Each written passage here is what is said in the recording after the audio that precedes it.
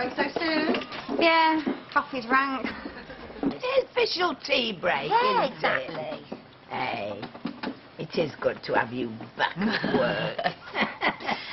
Oh. it means I don't have to work as hard. Yeah. Well, it's quite therapeutic, really. You know, the more you do, the less you think. No, it's how I've survived marriage to your father. Look, keep busy. Stops you wondering about the alternatives. Mum! Hi, I'm paying you two to clean, not sit around and gossip. um, we, we, we've finished, Mr. Pollard. Oh. Well, if a good man to dock your wages. First day back and he'd be owing me money.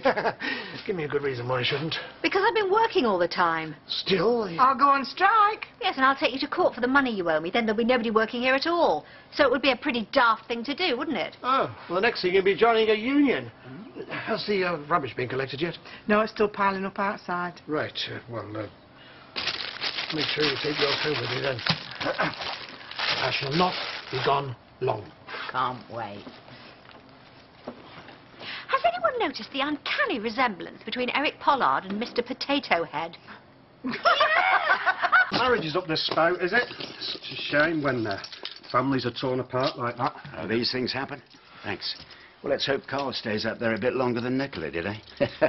Thanks, boys. I'll let you know when the housewarming is.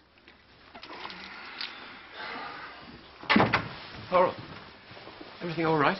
Yeah, just um, pop back, have a bit of lunch. Have you had it? No, I was, uh, I was just going to get something.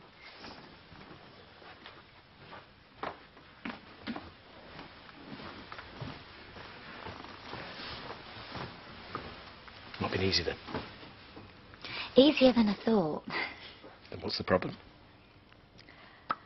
Oh, it's ridiculous. Tell me. well, it, Mum cracked this joke, a really awful joke, and I found myself laughing. And for about ten seconds, I forgot him. Everything was normal. Well, that's a good thing, isn't it? Yeah, but he's my baby, Ashley, and I miss him so much. I know. But he loved you very much. And one of the things he would have loved about you is your laugh. And you being so happy. And he wouldn't have wanted that to change. So you're not forgetting him when you laugh. Just the opposite. Finish the song. You are such a gannet. I don't want to know. Oh, go on. I should be getting back to work. You don't have to. No, I'm fine. You know, uh, Mel said something interesting in the cafe. What's that then? Cystic fibrosis.